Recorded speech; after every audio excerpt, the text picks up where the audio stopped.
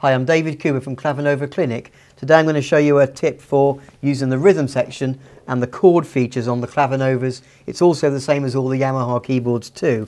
And the beauty of the, the ranges are that they have the split point that you can bring in, but also you can decide on how you want to play your chords on the keyboard. So if we go onto this main screen on this particular model, we've got a split and fingering.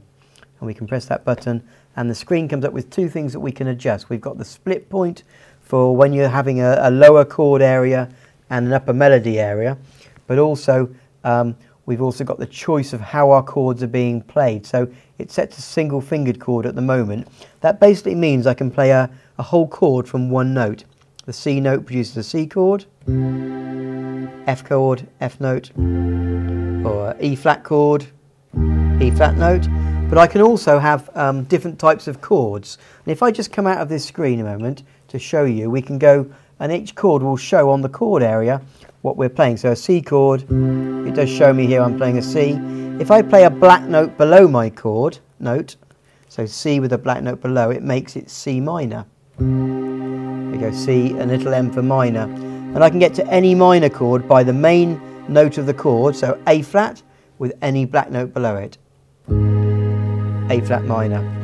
If I wanted to play B minor, I'd play the B note with a black note below it. There we go. Now we can also get um, minor seventh chords. So we can go to a seventh, which is the white note below. So C7, C, and the white note below makes C seventh. Or A with the white note below, A7. And also we can make minor seventh. So let's go C, black and white below together, we've got a full chord of C minor seventh now.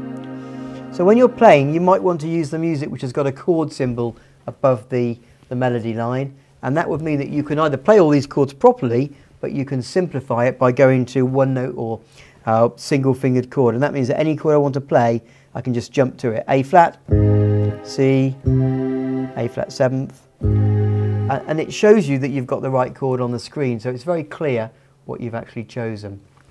So this is known as single fingered chord and, and it's quite a good way to just be able to go through a piece of music very quickly and not have to think of all the intricate chord changes. Okay, that's single fingered chord. Have a look at our other videos to find out the other chord methods. I hope you found that useful.